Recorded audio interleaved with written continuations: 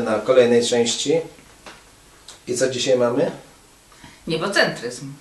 No dobrze, tylko co my teraz mamy? Y, Już oczywiście część z Was obejrzała tą pierwszą część tej całej serii o niebocentryzmie. Teraz w tym wywiadzie chcemy jakby wrócić do tych takich ogólnych rzeczy, żeby mm, szereg osób, które tutaj po raz pierwszy się stykają z poglądem niebocentryzmu, żeby wiedziały o tym, jak to wszystko wygląda, jak to się ma, ponieważ no, mieliśmy tutaj okazję, yy, że słuchała nas w poprzedniej części jedna osoba, która w to specjalnie nie wierzy, ale od razu jej się cisnęły na usta szereg yy, pytań i my w tej części to wszystko omówimy.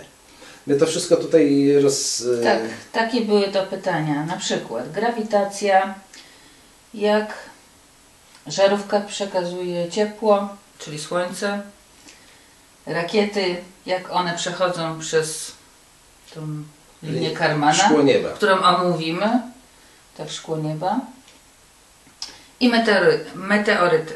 Właśnie, jak skąd się wzięły, jak tego i tak dalej, i tak dalej. No i teraz tak, y, tutaj wracamy do tego początku i mamy tutaj na ekranie grafikę, nie? I tutaj tak,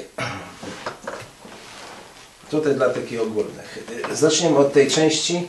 Tutaj mamy właśnie to takie, mm, tu mamy Ziemię, o właśnie tu, tu mamy otwory na biegunach, na biegunie północnym, o tu i południowym.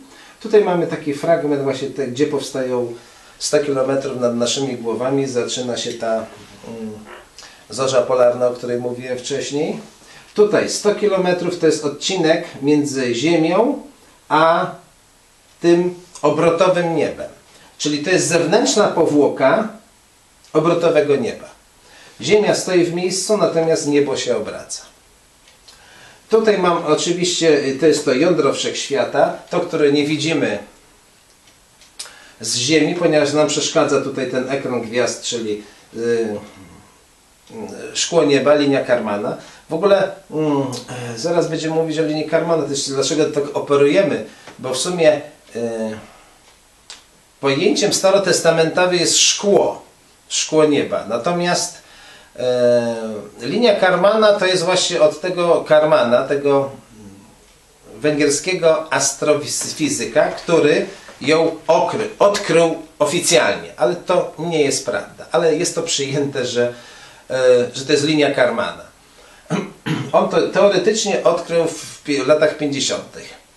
Tak przynajmniej kiedyś Wikipedia A podawała. mogę się spytać, co się obraca? Bo na poprzednim filmie widzieliśmy... Obraca się to niebo.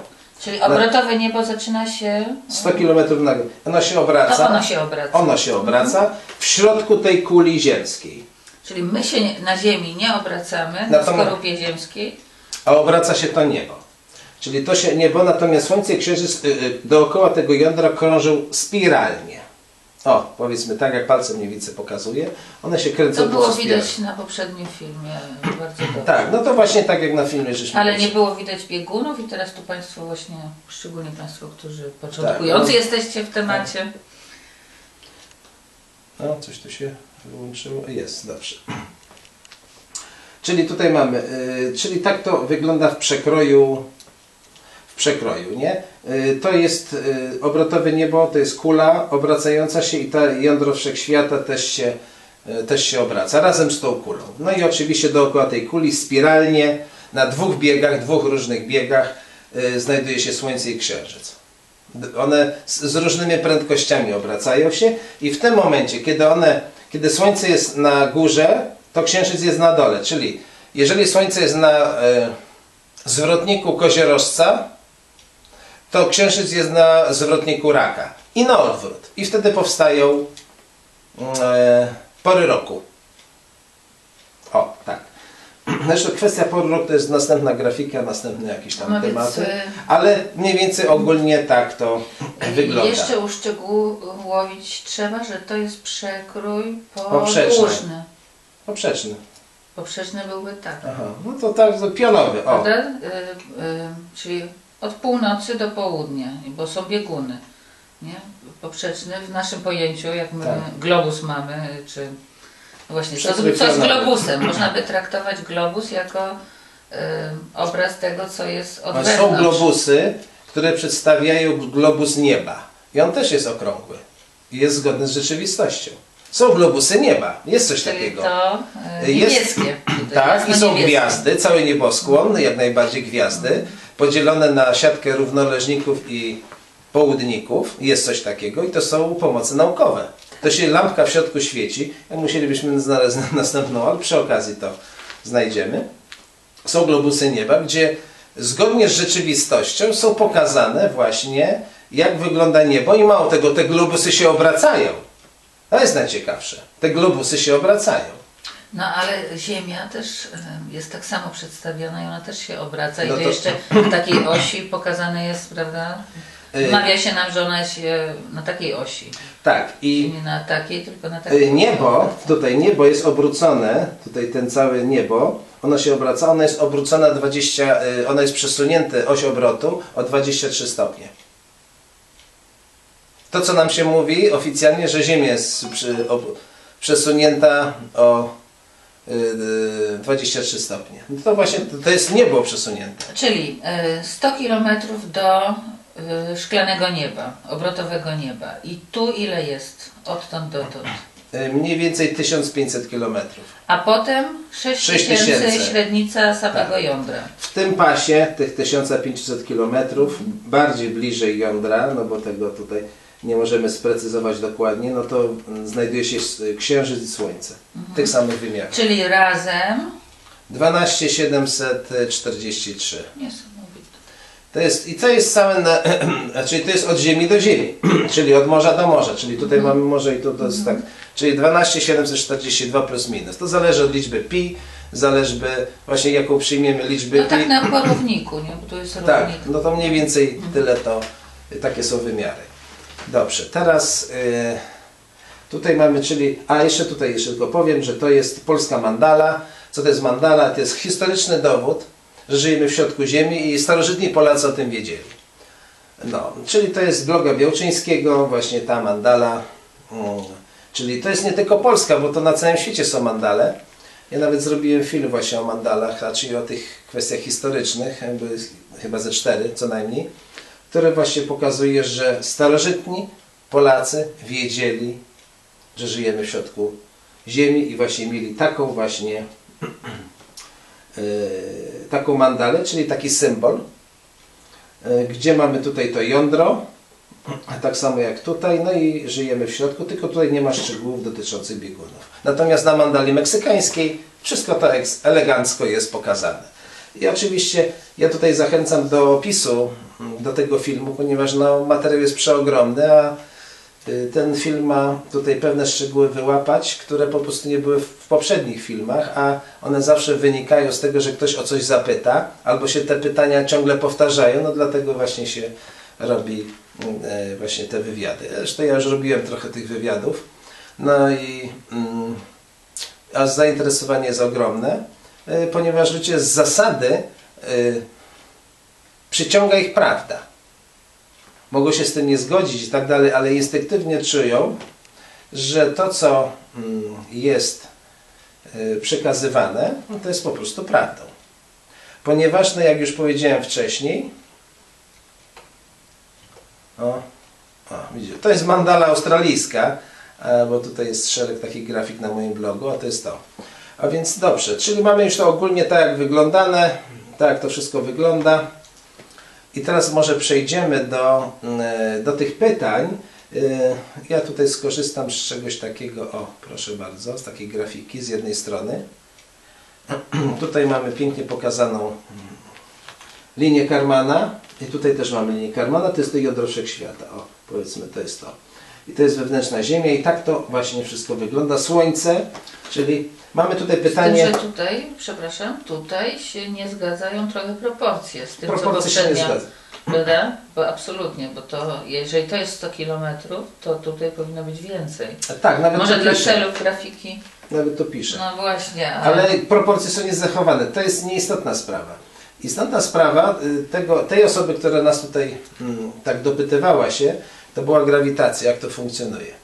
Otóż jest taki gaz w atmosferze, którego wykluczono w latach 20. Czyli y, coś, żeby pasowała teoria Einsteina, to trzeba było wykluczyć ten gaz. A wiecie jak on się nazywa? On się nazywa eter. Trzeba było to po prostu wykluczyć. I eter jak działa? Eteru tutaj w tej części jest więcej, a w tej części, czyli od linii Karmana do środka, jest mniej. I tutaj mamy tak zwaną nieważkość. Zresztą ta nieważkość tutaj z racji tego, że y, ona też występuje nie tylko powyżej, ale już powyżej 90 km, czy 95 km. Tuż pod linią Karmana już występuje nieważkość. Ale im bliżej do Ziemi, ta, y, ta stężenie eteru jest większe i to właśnie ono powoduje docisk do Ziemi, czyli to się, to się nazywa grawitacja. I na takiej samej grawitacji właśnie wszystkie jeziora, morza są właśnie wgniecione. O, w ten sposób. To jest, to jest element dociskający. Co ciekawe, hinduscy uczeni starożytni też twierdzili, też wiedzieli o tym, że grawitacja jest dociskająca. O, i czyli tak wygląda grawitacja. I teraz ona jest dociskająca. Przy oficjalnym modelu musi być jądro, takie ciekły metal i tak dalej. Jest jeden poważny problem yy, dla oficjalnej grawitacji, ponieważ yy, badania yy, sejsmiczne radzieckie, z którego są właśnie dokumenty, z roku 1983 mówią o grawitacji, to znaczy mówią o tym, że Ziemia w miejscu badań miała 2044 km. Badania sejsmiczne. One były robione w Związku Radzieckim w 1983 roku na zlecenie Komitetu Bezpieczeństwa Państwowego, czyli osławione KGB. I te dokumenty oczywiście wypłynęły e, po rozpadzie Związku Radzieckiego i e, przy oficjalnej grawitacji w tym momencie tak, e, ona musiałaby mieć masę. Jeżeli te badania sejsmiczne y, mówiły, że Ziemia nie ma masy, bo jest pusta w środku. Mało tego, tam jakbyśmy popatrzyli akurat tutaj, no, musielibyśmy znów dać jakiś tam y, ten. Może w dół trochę przynajmniej. Nie, to ja tylko powiem o co, o co chodzi właśnie z tą, z tą sejsmiką. W tym momencie, y, jeżeli nie ma masy, to oficjalny model, on wypada z gry. Czyli on jest fałszywy przy tych badaniach sej- sejsmicznych. Nie, to tylko tak y, markuje akurat temat. Że zrobiono takie coś i stwierdzili, że y, no, mało tego, że oni jeszcze udowadniali w tych badaniach sejsmicznych, że my żyjemy w środku Ziemi. Mało tego, ten stożek wybuchowy, bo- jak się robi badania sejsmiczne, wierci się kilometr dziurę od wiertu i wsadza się tonę trotylu. No i później odpowiednio się ustawia czujniki i się odpala to. No i wtedy się bada, jak to wszystko wygląda. No i właśnie oni ten stożek tak narysowali na tej grafice, że ten stożek wybuchowy jest, y, y, dotyczy wewnętrznej Ziemi. Czyli my żyjemy w środku Ziemi i to nawet same KGB, ZSRR sobie udowadniało.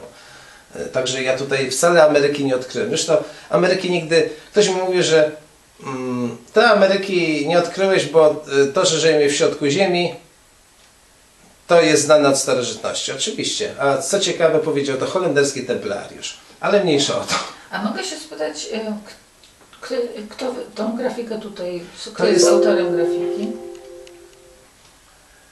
Bo y, gdyby, mm, tak wystarczy zamknąć, Y, gdyby on narysował tą linię tutaj, czyli 100 km byłoby tutaj, a tutaj, y,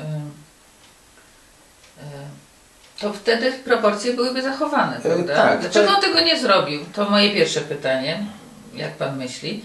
A po drugie, e, tutaj e, widzimy, że między e, obrotowym niebem, a znaczy tą linią Karmana, a e, obrotowym niebem, A, znaczy, no jądrem, właśnie, jądrem. ta przestrzeń e, wypełniana jest tylko e, Słońce i Księżyc jest tutaj, a gwiazdy są projektowane na e, No i co? No tutaj, nie? Dobra, no i co? Em, Tak jest na pewno? E, To się zgadza, że tylko Księżyc i Słońce są w tym obszarze? Jeszcze mamy satelitę. I satelity.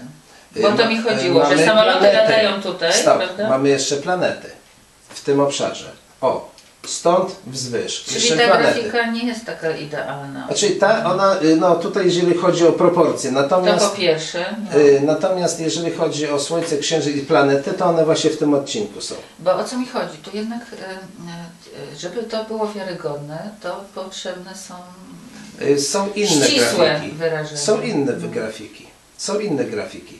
To jest amerykański badacz i on po prostu skupiał się na takich rzeczach, y, no, y, jakby to powiedzieć, y, bo jest kilka tutaj takich osób, które się tym zajmują. Teraz rozmawiamy na przykład o takiej sejsmologii i tak dalej. Ja na przykład prowadzę cały niebocentryzm od 2,5 roku na takim poziomie bardzo praktycznym. Y, W tej chwili no, poruszamy kwestie ogólne i mm, to, że powiedzmy i po prostu ta, cała jakby strona naukowa, specjalnie strona naukowa nie jest dla mnie specjalnie potrzebna. O, Ale pols po polsku nie ma takiej Nie ma. grafiki. nie ma. No, wyzwanie jest to, żeby zrobić. Nie ma możemy wrócić na chwilę do e, Red October blog, bo no właśnie, bo tu są proporcje zachowane, Tu prawda? są, tu są A proporcje tamta zachowane. jest myląca. I ja dlatego chciałam zmienić już, e, zdjąć tamten obraz, bo no, mnie e, jest, na Królewska TV nie może promować czegoś, co jest no, źle zrobione. Tamta grafika jest źle zrobiona. Tutaj proporcje są prawidłowe. Czyli w tej jasno-niebieskim obszarze mamy Słońce, Księżyc i Y, planety. Planety. A gwiazdy są projektowane Nie, s- Gwiazdy są, to jest, y, pro, są tutaj dwie szkoły z gwiazdami. Mhm. Y, Jeżeli chodzi tutaj, teraz rozmawiamy o gwiazdach, są tutaj dwie szkoły. Jedna szkoła mówi, że to jest projektor gwiazd i one tutaj są i przechodzą przez linię Karmana i oświetlają Ziemię tym łukowym krzywą światła, łukową krzywą światła. Druga szkoła mówi, że ja tak uważam, ponieważ no, są na to dowody, że y, one są wyświetlane, to jest projektor gwiazd, a linia Karmana jest y, linia Karmana jest ekranem i my widzimy je na ekranie. O, w ten, ponieważ z kosmosu ich nie widać. O, to jest bardzo ważne, z kosmosu Aha. ich nie widać. I w 69 roku E, bodajże, A kosmos jest e, tutaj w tym, bo jak e, rakiety startują, kosmiczne rakiety, to one przebijają się tu przez tą linię i są w tym obszarze. tak, Czyli w tym jasno-niebieskim polu. tak. To jest kosmos jakby, nie? Tak. Bo przez I- to się jeszcze nikt nie przebił. Nie, to nawet nikt nie doleciał. Ale dlaczego nie jest tak daleko? Oczywiście, że nie jest daleko, tylko jest coś takiego jak transformacja przestrzeni obiektowa. I to jest taki największy problem, nie? że każda rakieta, która zwięk- chce zwiększyć e, swoją powiedzmy bliskość do tego jądra, ona e, zmniejsza się i zwalnia. I to jest fiksowane w stacjach nadawczych, kontroli lotów. To jest taka tajemnica e, centrów dowodzenia lotów kosmicznych. Że właśnie e, one zwalniają. W którymś momencie one tak lecą, lecą tą prędkością, ale później im bardziej tu się przybliżają, to one zwalniają. I na przykład często mówi się, że satelity tam gdzieś opuściły układ słoneczny. One już tak latają, że one już praktycznie nie są widoczne i nawet nie można ich zafiksować. Dobrze, a w takim razie ta amerykańska grafika taka nieprawidłowa, jeśli chodzi o proporcje. y, czy to jest, tu, co tutaj jest, dziękuję, tu, tu, czy to jest pewne? Skąd oni pobierają te dane? E, To jest teoria. To jest teoria, ale nie do końca. Nie do końca Bo Jakby teoria. sugeruje, że tutaj też już zbadano, prawda? Przynajmniej tą linię. To jest teoria, ale to nie jest do końca y, teoria. Ponieważ my nie mamy, tutaj nikt dotąd nie poleciał, z kosmosu nie mamy niezależnych danych, a więc tutaj pewne mamy y, przypuszczenia, że powiedzmy, no wiemy, że takie coś jest, na przykład ze Starego Testamentu, wiemy z Mandali, że coś takiego jest. Natomiast konstrukcja, że tu jest trochę wody, bo tu pisze water, nie? Silicon No. i wa- water. woda, Woda. i krzem. i krzem. I pasowałoby oczywiście jak najbardziej, jak najbardziej powiedzmy do produkcji gwiazd, chociażby do tego. No i lód, bo tu jest tu Też jest lód. I tu Też lód, jest. E, temperatury w takim razie... Też jest lód i to ma cechy prawdopodobieństwa z jednego powodu. Stary Testament w jednym wersecie opisuje właśnie, że w jądrze jest woda. Jest trochę wody. A więc, y, bo tutaj znów wjeżdżamy następny temat, skąd się wzięły wody potopu. Zaraz to można jeszcze tu... Tak. To jest, mówi się tak, e, jak to jest takie przysłowie, e, tego, chci- w lesie chcieli e, jeden sęk tylko zrąbać, a zrąbali cały las. Bo y, sugeruje się, że została zbadana jakby ta powłoka. No, Ta bo, wo- y, prawda? y, na takiej, podstawie starego- grafice. Na podstawie Starego Testamentu możemy tak powiedzieć. A natomiast nikt tam jeszcze nie był dokładnie, czy ta woda tam jest, czy nie, ale Stary Testament o tym mówi. A więc nie do końca jest to taka teoria. A loty w kosmos nie mamy informacji niezależnych. Bo chciałam też przejść na dół, bo tam było przebicie się przez linię karbonu. Teraz co ma? Czy gra- grawitację myśmy skończyli, tak? Grawitację. Tak, to jest dociskowa. dociskowa. Czyli no i nie ma y, ten, na podstawie badań sejsmicznych nie ma jądra. Żeby było jądro, y, musi być jądro dla oficjalnej grawitacji. Nie ma jądra, oficjalna gra, Czyli grawitacja nie istnieje. Ta definicja, że grawitacja to jest przyciąganie Ziemi, jest y, ściemą, jest Ściema. blefem. To jest blef. To jest blef. Bo tego, takiej formułki dzieci się uczą. Czym jest Tak. grawitacja? Przyciąganiem Ziemi. Przyciąganie Wierzą w to, muszą być kula... masy. No, no, Muszą być masy. Planety muszą mieć masy, żeby było przyciąganie. Tak, a, to, a ta skorupa jest za cienka, żeby miała taką masę. masę. On nie ma masy, a więc y, ta oficjalna grawitacja to jest oparta na lipie. Y, dobrze, tyle, że mamy No, grawitację. warto się było tego blogera spytać, dlaczego on tą proporcję tutaj Mi to nie przeszkadza. No mnie to przeszkadza. Mi nie przeszkadza, że proporcje zrobił takie no dla mnie, orientacji. mnie przeszkadza, bo tu jest 62 mile, a tu 1500 mil, bo Amerykanie się milami posługują. Ale ja sobie z tym dałem radę. Ja sobie z tym. Mi to nie przeszkadza, to jest dla ogólnego widoku. Może dlatego, że jestem wzrokowcem i od Tak. razu te proporcje... mm, I teraz tak, tu się zacznie, zatrzymamy tylko moment. Teraz tak. tu już są prawidłowe proporcje. No. Te 100 km jest bardzo tak. malutkie w porównaniu z tym... Y, O co tutaj pytano nas jeszcze w tej kwestii? Właśnie, jak ta żarówka, czyli słońce, y, ma przekazywane ciepło z tego jądra? Z tego jądra ciepło jest przekazywane na odległość. Okazuje się, że nie tak dawno dwóch takich cwaniaków amerykańskich, którzy się nazywają naukowcami, y, zerżnęli to, co Tesla już dawno na początku XX wieku wymyślił i przetestował, czyli przekazywanie energii na odległość. Oni to wzięli niedawno, opatentowali. Odkryli tą Odkryli, tak, muszę uznać, że odkryli. Amerykę. Odkryli. A Amerykę odkryli i tak dalej. A więc to jest żadna tajemnica. Do tych 300 km średnicy, do tej takiej, do tej kulki, znaczy kulki albo to powiedzmy półkulki yy, Słońca jest dos- dostarczana ta yy, energia elektryczna i to świeci. A jeszcze w, no, będzie link pod, w opisie do filmu, który mówi o yy, piorunach bogów. Tam jest właśnie natura elektryczna, natura elektryczna całości. O, natura elektryczna, czyli to wszystko chodzi na prąd. To jest, y, kiedyś to była próżnia, tak? Tak to się nazywało, że to jest próżnia wszystko. Y, a teraz już się nawet oficjalnie już mówi, że to jest namagnesowana plazma, czyli w ciągu 30 lat i to, ta namagnesowana plazma to już to się nie mówi tak publicznie, no bo by trzeba było podręczniki zmienić, nie? Nie no, w ogóle trzeba by wreszcie wytłumaczyć, gdzie ta plazma jest. No plazma. Że to jest, że niebocentryzm. Tak na, jest. po, na bazie niebocentryzmu. Plazma. O tej plaźmie trzeba by mówić, a w ogóle niebocentryzm jest. y, Nie istnieje. No, Nie istnieje, ale, ale to na co, zwracamy, podręcznikach nie istnieje. na co my tu chcemy zwrócić uwagę? Głównie, że 30 lat temu była próżnia kosmiczna, taka jakaś idealna, ale w końcu tak nigdy nikt nie wierzył, że to jest tak do końca próżnia. A teraz już jest oficjalnie nawet namagnesowana plazma.